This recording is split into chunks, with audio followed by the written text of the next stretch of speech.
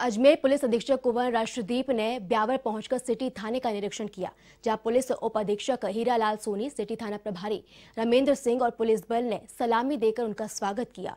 इस दौरान एसपी राष्ट्रदीप ने जवानों को चुस्त रहने के साथ अपराधों पर अंकुश लगाने के लिए कानून पालना के निर्देश दिए।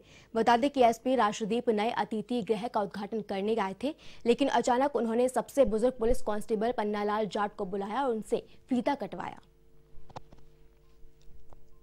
आप रिपोर्ट का काम देखते हैं रिपोर्ट एजेंसी है।